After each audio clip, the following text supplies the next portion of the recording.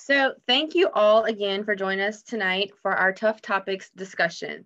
The Tough Topics series was created to provide a safe space to discuss topics that you may be afraid to ask questions about. As librarians, we are here to help, not to judge. This year, Shreve Memorial Library partnered with the Louisiana Department of Health Office of Public Health Region 7 to provide a series of tough topic discussions related to opioid addiction and substance abuse. And tonight for our final presentation, we have Yolanda Duckworth, Region 7 Opioid Preparedness Outreach Coordinator from uh, Louisiana Department of Health, and she will provide us an overview of Louisiana's opioid preparedness plan. Now, before we begin, I'd like to encourage you to complete the pre-presentation survey. Again, the link can be found in the chat box. Also, I'd like to remind you to please keep your screens on mute and submit any questions that you may have through the chat box feature. Now, without further ado, I will turn it over to Yolanda. Well, good evening. Thank you, Samantha. Thank you all for um, signing on tonight. Um, as Samantha mentioned, I am the last presenter. Um, we've had a wonderful month of opioid education um, with various topics and various speakers. And so tonight we're culminating um, that public education and informational partnership with the Shreve Memorial Library with our presentation tonight. So if you don't mind, give me one moment and I will share my screen and we can get started.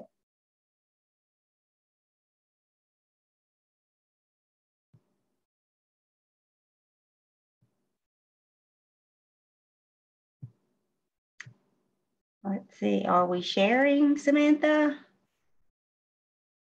Yes, you are sharing, but it's showing your Zoom page. It's not showing your uh, PowerPoint presentation just yet. Okay.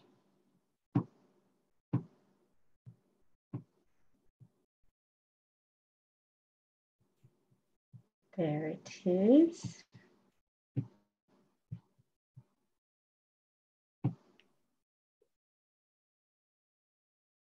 Okay, I believe we're ready. All right, well, thank you very much.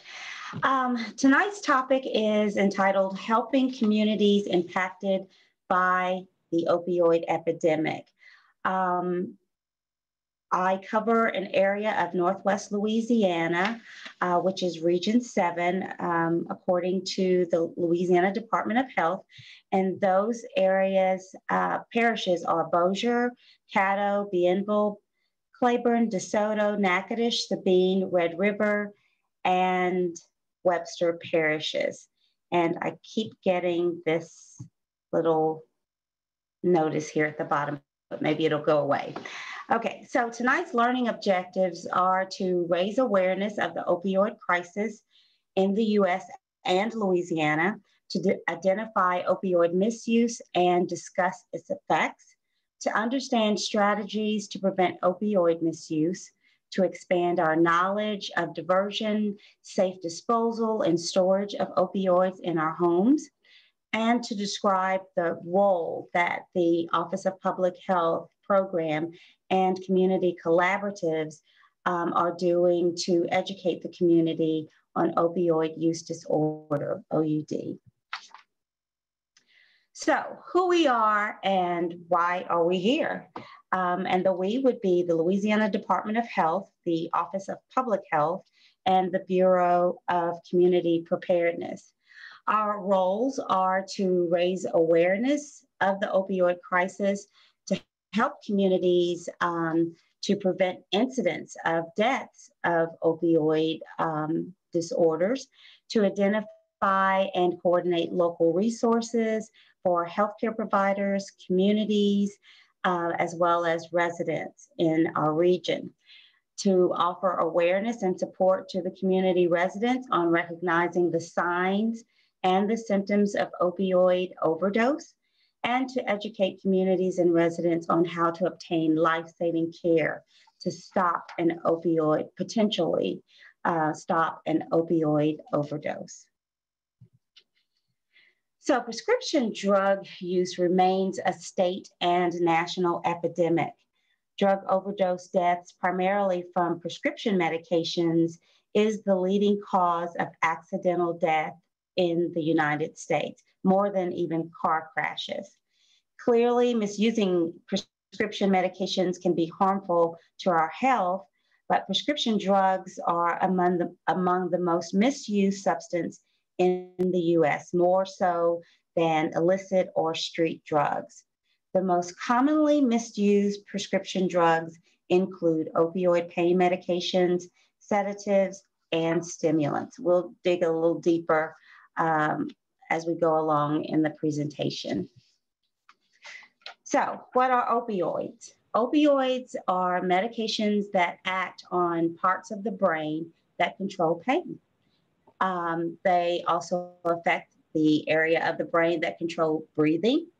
Um, during an opioid overdose, breathing is compromised. It can be slowed or it can stop. And in uh, oftentimes in cases, a person can become unconscious, uh, go into a coma, and worst case scenario, death can happen. So most opioids are derived from um, the familiar poppy plant, um, derived from opium. And um, the common derivatives of the poppy plant, the uh, opium, um, are morphine, codeine, oxycodone, and heroin. We'll talk a little more about those as well as we go along. So, according to the Centers for Disease Control and Prevention, a national data source reported that 74% drug overdose in the US involved opioids. 74%. More than 72,000 individuals died of drug overdose in the US. And more than 73% of those opioid involved um, overdose deaths involve synthetic opioid like fentanyl. An average of 130 Americans die every day of an opioid overdose. In 2018, 2 million people had an opioid, opioid um, use disorder, OUD is what I'll refer to it as. Um, over 808,000 people used heroin. And we'll look at a little more of each of these a, a little uh, farther along.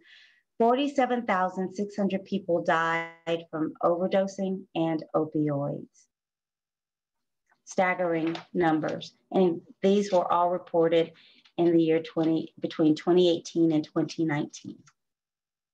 So common types of opioids, I kind of alluded to them a little earlier, um, but most common opioid types are Norco, hydrocodone, which is commonly known for, oxycodone, uh, I'm, I'm sorry, oxycontin, oxycodone is another name for it, tramadol, fentanyl, codeine, morphine, and heroin.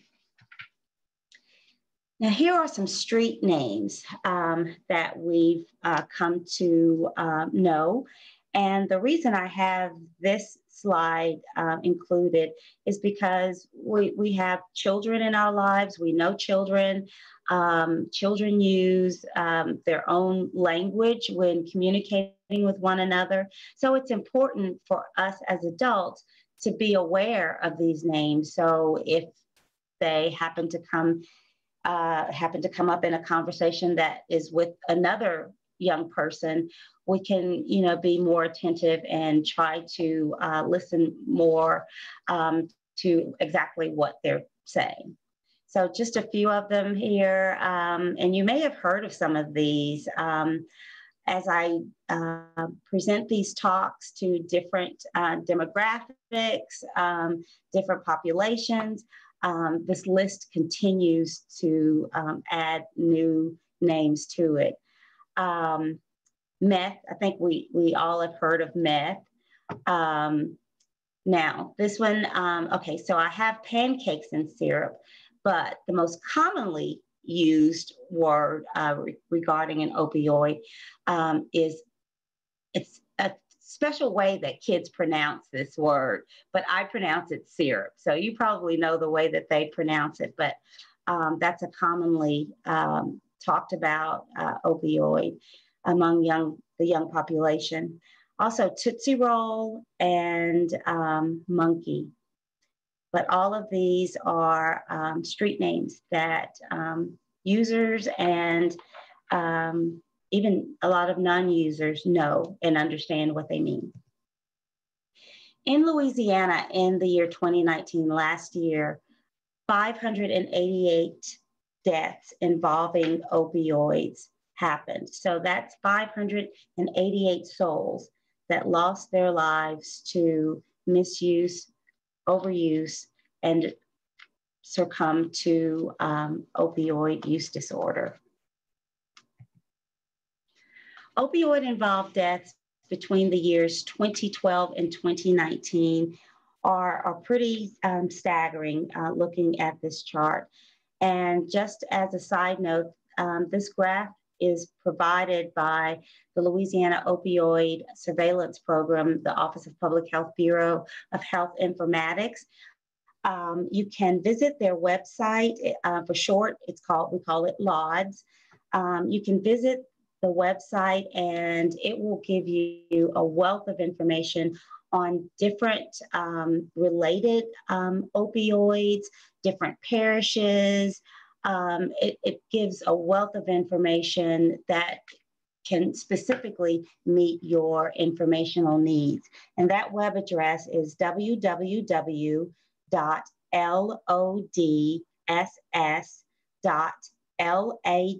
I'm sorry, ldh.la.gov. I'll repeat that www.lodss.ldh.la.gov. This chart represents the opioid involved deaths in the state of Louisiana by parish. Opioid involved deaths is a distinction we use in surveillance because it includes traditional overdose, poisoning, primary cause of death. But also, it includes other deaths not marked as drug poisoning, but where coroners determined that opioid contributed to the person's death. Opioid involved death in Louisiana increased by 25% from 470 in 2018 to 588 in 2019. That's a 267% increase. Very significant.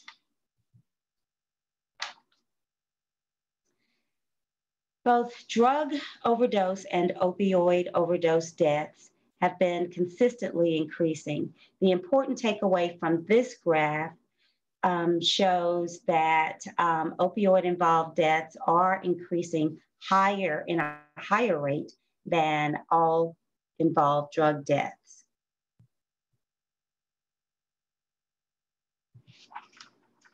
And this is a graph um, showing our region, Region 7. Um, the um, darker uh, blue shaded um, area is Caddo Parish. And um, in 2019, there were eight deaths uh, that the coroner reported that were opioid related. And the shaded parishes, Red River, uh, DeSoto, Claiborne, Bossier, those um, indicate the shaded area indicate that those deaths were less than five. Now, the reason that I know that they were definitely less than five, I um, did an investigation and was able to get from vital um, statistics in New Orleans the exact number of coroner um, claims claimed deaths from those parishes. Now, although this number may look minimal, um, relatively speaking, um, the opioid epidemic um, is um, viewed as a whole. And so, whereas in the northern part of the state, northwestern part of the state, we have less reported um, opioid involved deaths. Other parts of the state is not so fortunate. For instance, the southern part of the state has a much higher um, rate of death, of opioid related death, than the northern part of the state. But I wanted to um, show this just to let you know that opioid, um, the opioid epidemic is not isolated. It's it's a state issue. Um, and this graph shows that. So as, as I alluded to, the opioid epidemic affects all of us. Um, the, um, it doesn't matter whether you're older adult, teens, school age youths, college students, professionals, there is no stereotypical or type, quote, type of person um, that is um, susceptible to uh, prescription drug misuse. Prescription drug misuse occurs when, when very to the very young and to the very old. Um, 6.5 million Americans aged 12 and older reported misusing a prescription medication in the past month. And this was according to a national survey done by the National Survey on Drug Use and Health in 2014. Two thirds of teens that report misuse prescription of uh, for opioid pain medications state that they receive this medication from friends or family members. How many of you have ever shared uh, prescriptions or, or medications, say for something as, as mild as a headache? Most, most people have, most of us have at some point, but to know better is to do better, right? So um, sharing prescriptions is never okay. And um, so much so, it can lead to an addiction. Um, SAMHSA, um, Substance Abuse and Mental Health Services Administration, estimates that the number of senior citizens requiring substance misuse treatment in 2020 will increase by 4.4 million since 2003, which was um, a, an increase of 1.7 million. Current research estimates that 17% of senior citizens struggle with a substance misuse problem. And why do you think that is? Um, because the older you get, uh, the more frail we get. That's just a fact of life. And so, um, if there's not a caregiver um, available to help uh, that senior monitor their medication, they may accidentally um, misuse it um, and possibly overdose from it. Um, so that's why we need to be very, you know, um, proactive with monitoring our seniors and making sure that they're taking their medications correctly, as well as younger um, persons as well. But um, the epidemic ha has cost our country $78.5 billion a year. This is um, an outrageous number, um, but it covers different areas of our economy. It covers under healthcare, loss of productivity at work, um, addiction treatment, and of course, the criminal justice system. So let's talk about opioid misuse, or is it an opioid addiction? So, in essence, if someone has a physical dependence, they don't always necessarily have an addiction, but it can contribute to it. Individuals that misuse opioids are not always addicted. They could just be misusing the opioids. So, misuse refers to utilization in a manner other than what it was prescribed. An opioid addiction OUD occurs when attempts to cut down or control use are unsuccessful or when use results in social problems and a failure to fulfill obligations at work or school not completed. Opioid addiction often comes after the person has developed opioid tolerance and dependence, making it physically challenging to stop using the drug.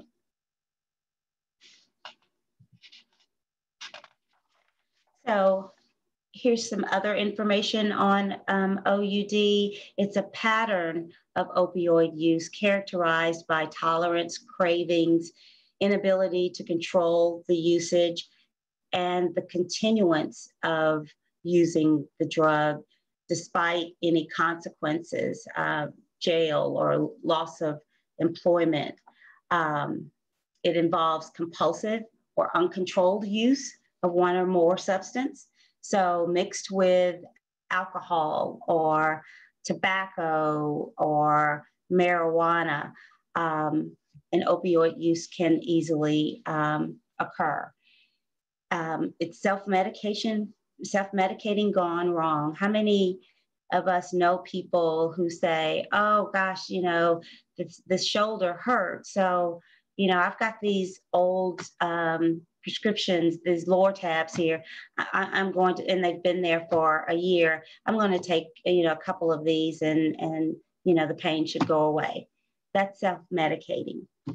Um, OUD is treatable, but it, it has to be managed properly with sometimes with medication, behavioral therapy, and of course, uh, recovery support.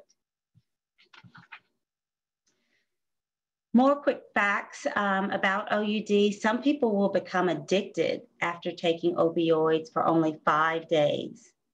Approximately 80% of opioid emergencies from overdoses are deemed accidental. People are not, you know, intentionally trying to die. Um, it's the addiction and the misuse of those medications that are causing those either overdoses or those accidental deaths. Roughly 21 to 29% of patients prescribed opioids for chronic pain misuse them.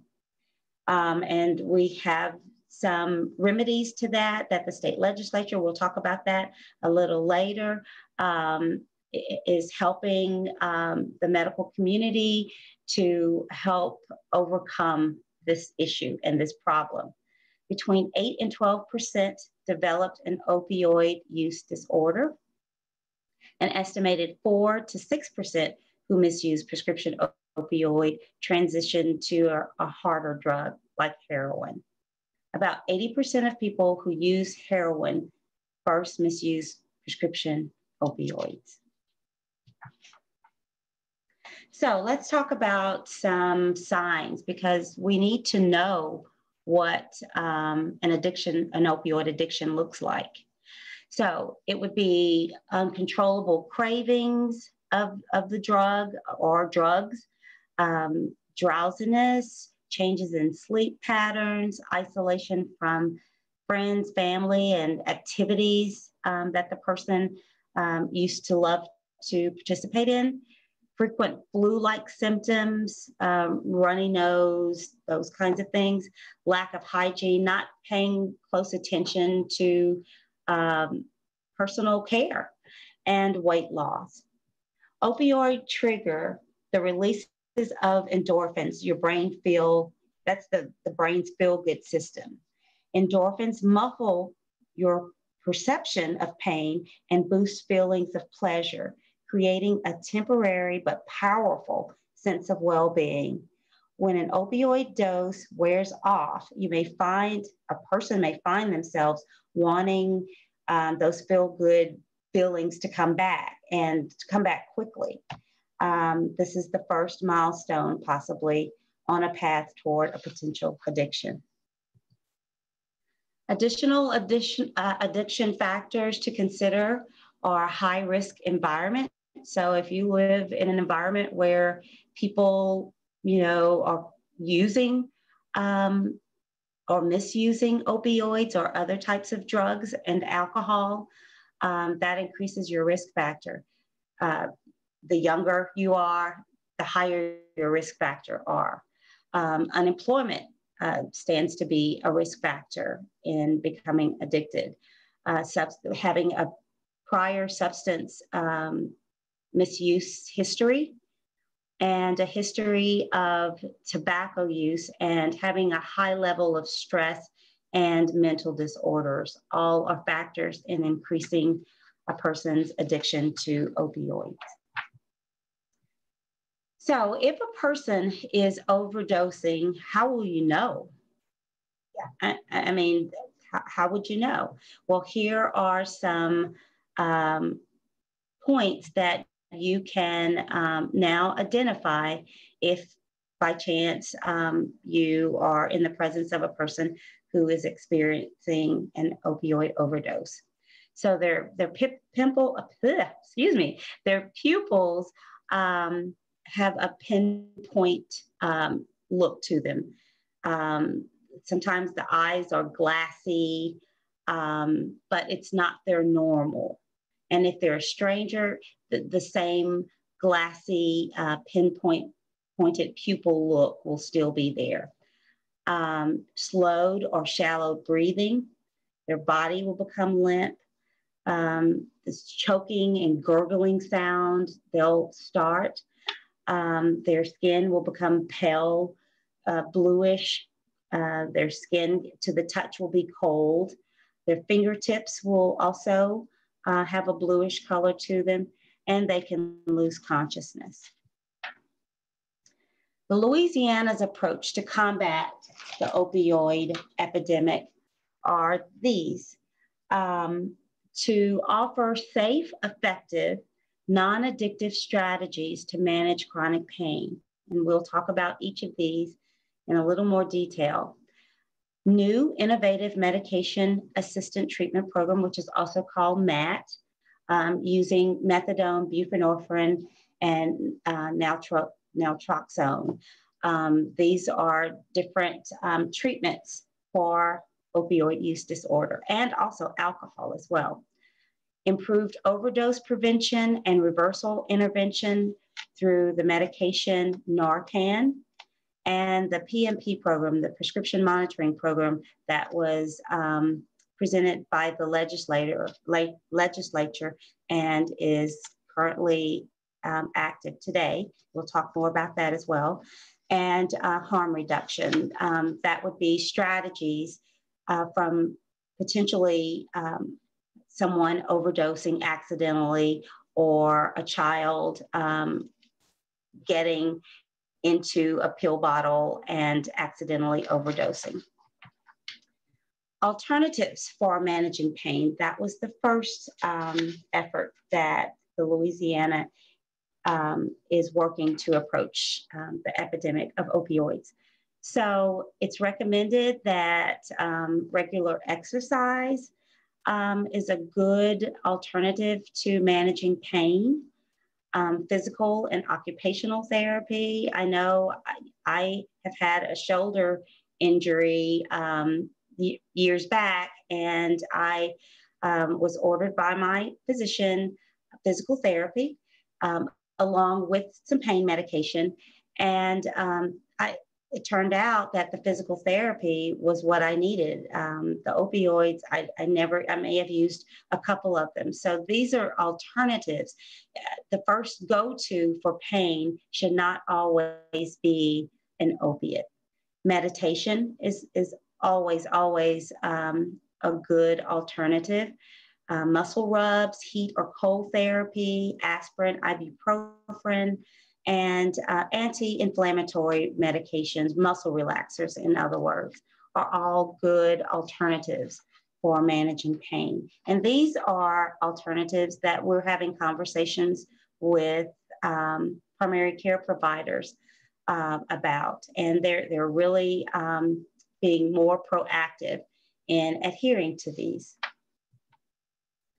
So the other is treatment. So the MAT the Medication Assistant Treatment Program. Remember, I mentioned methadone, uh, uh, buprenorphine, Subutex, uh, Suboxone, and Vivitrol are all um, have proven to be very effective medication to combat the urge of a person who is addicted to opioids from um, having um, well, to continuing their drug usage. Um, these medications improve patient survival rates. Uh, it increases uh, retention in their treatment. It decreases their probability of illicit, using illicit uh, opiates um, and possibly being involved in criminal activity. Um, it increases the patient's ability to gain and maintain employment. So if they're sober, they can go to a job and work for eight hours and not nod off or not go into the bathroom and use and then, you know, can't come back to work. and to improve birth outcomes uh, among women who have OUD or substance use disorder. Now, this um, slide indicates the different methods that the legislature has put into place um, working with healthcare providers. The first one is the seven day supply, which limits a first time prescription of opioid to, for acute pain to a seven day supply.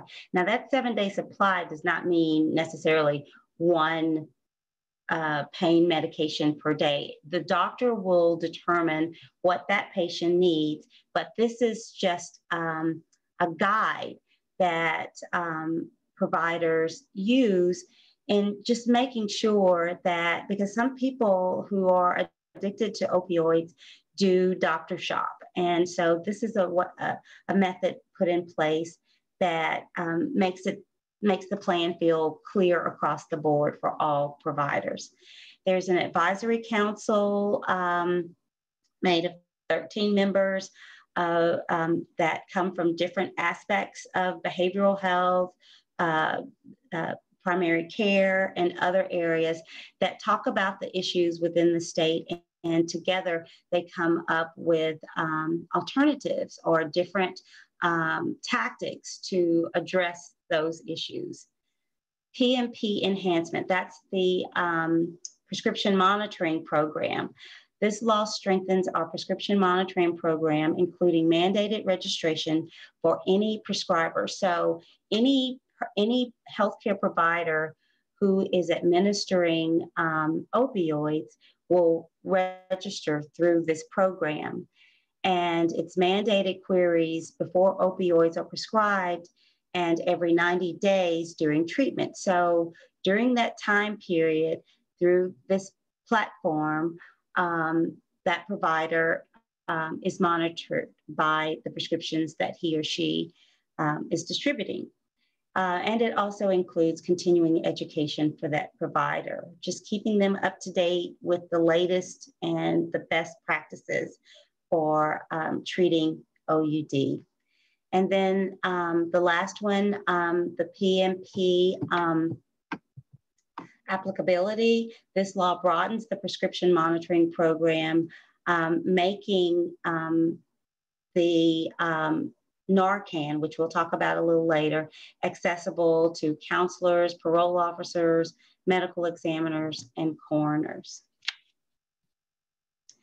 And lastly is harm reduction and it's threefold.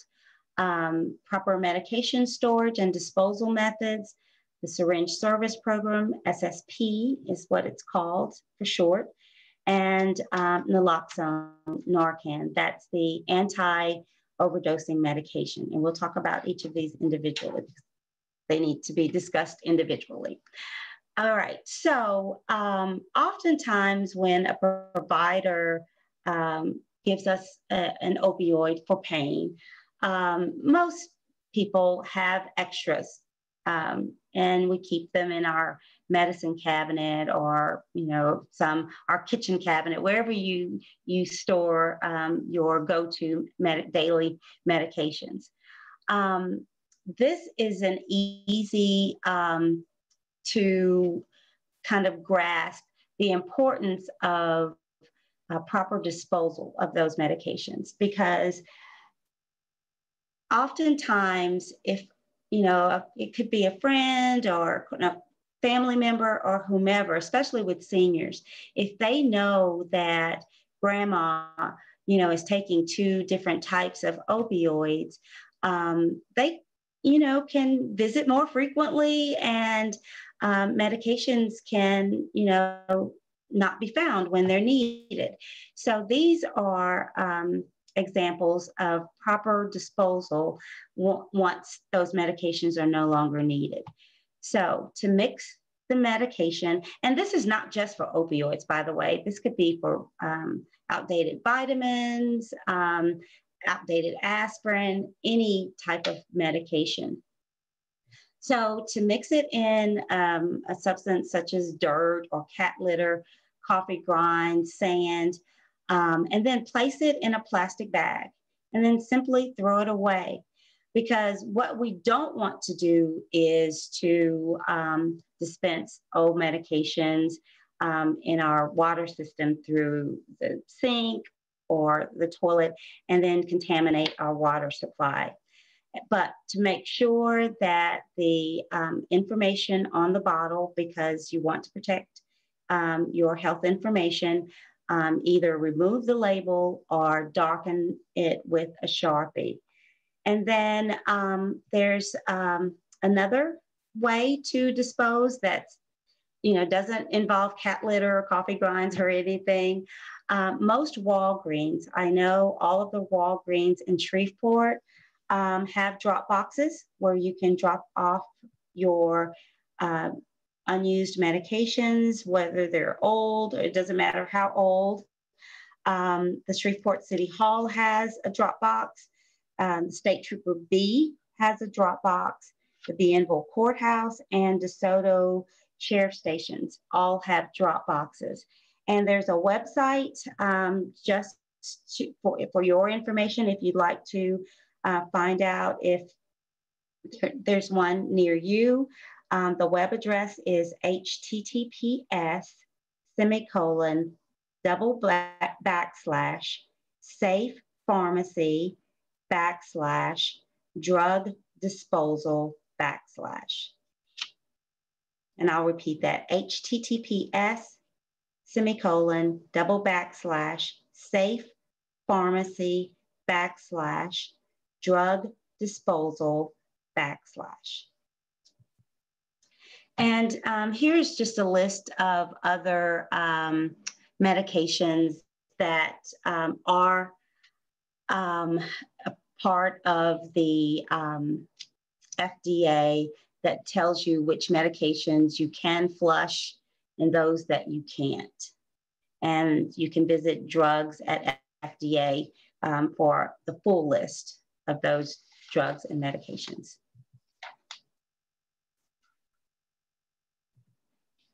So let's talk about proper storage. Um, again, um, talking about seniors with multiple uh, medications and um, using uh, daily pill boxes to keep their medications in order and to make sure that they take the medications in the proper time frame that they're supposed to.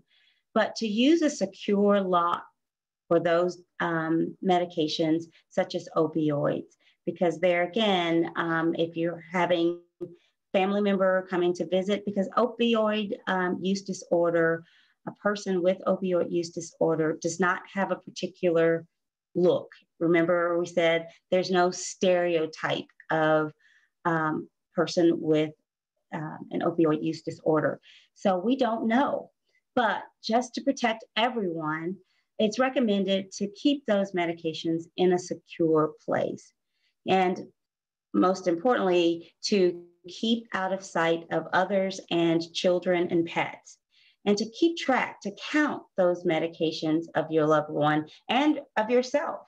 Um, I, I've, I've, heard stories where um, a family member an older um, family member was taking opioids, and uh, the first part of the month that prescription is filled, you know, and family members come to visit, and that person that, that is uh, uh, has an opioid use disorder um, knows that, and that's a prime time that they can come and um, retrieve those medications unknowingly to the senior.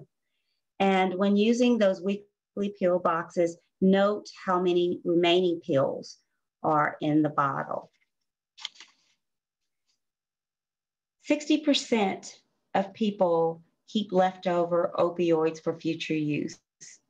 20% said that they share their medications, and 8% will likely share their medications with a friend, while 14% will likely share opioids with a relative. So keep those medications in its proper place. So the Syringe Service Program, SSP. This program is new to Shreveport, but not new to Louisiana nor um, the United States. Um, this program um, is designed to help reduce HIV and STD and other infections. Um, it provides testing, sterile syringes and supplies, and it offers linkage to care and treatment for those seeking help with OUD. And they also provide other information. The Philadelphia Center is our SSP um, uh, outlet here in Northwest Louisiana. And they're located at 2020 Centenary Boulevard. And they are doing an exceptional job at helping individuals with um, substance abuse disorder or opioid use disorder uh, by providing them clean needles in exchange for uncleaned ones, um, tourniquets, um, cookers, uh, providing them HIV testing, and whatever other service that an individual may need when they come. Um, each week, it's Fridays, um, every Friday, um, to receive that information. They're providing them with whatever um, services that they could possibly need, and oftentimes referring them to other services that they may need. So the anti-opioid overdose medication, Narcan, it, as it's um, typically known, is a reversal for a person who is experiencing an opioid overdose. Um, its only purpose is to reverse the opioid overdose. It's it cannot harm an individual if that is not if it's given and the person is not experiencing an opioid overdose. Um, but its sole purpose is to provide that treatment until 911, the emergency responders can um, come to continue the treatment. And it comes in three different forms. The most popular format is the um, nasal spray. Each container has two administrations to it and um, it is given obviously um, in in the nostril. Um, and the other is the uh, injection, um, not so popular, um, but it is available. And um, the one that I like, I, I like them all, but I like this one because it walks you through. It's a vocal uh, aspect that um, is built into um, the prescription that tells the person pull the tab, um, insert uh, the pen. It walks you through all of the instructions. Now, um, this medication at one time was only given by a prescription, but through the Louisiana legislature, it is now a standing order. So, which means that any person, um, whether you um, know someone who has substance use disorder or opioid use disorder, or you are a person with opioid use disorder can go to any drugstore and ask for the medication, no questions asked, no prescription necessary. And oftentimes um, there's uh, with certain uh, health plans, there's no copay, there's no out of pocket expense. But if there is not um, uh, Medicaid, Medicare, or a private health insurance, there may be a nominal uh, fee charged but it is accessible at any pharmacy um, in our area. So opioid use disorder um, is very stigmatized, let's just be honest. Um, but it, it could happen to really a, a family member, a friend, um, someone close to us. And so to not use terms that will cause a person not to seek treatment, um, not to have um, STD testing. Um, it's it's it's not necessary because there there are easy terms that we can use that can help a person or encourage a person um, who is struggling with an opioid use disorder to seek that treatment or care that they're needing. So just consider um, using the word addicted and replacing that with a person with an addiction. Instead of saying the person has a substance or drug or is a drug user or abuser, how about saying the person um, has a substance use disorder? Instead of saying uh, the person is a former or reformed addict, how about using the phrase, this person is a recovering, uh, is, is in recovery or remission. The person has a drug problem or he has a drug habit. Just say the person has a substance use disorder, um, relapse.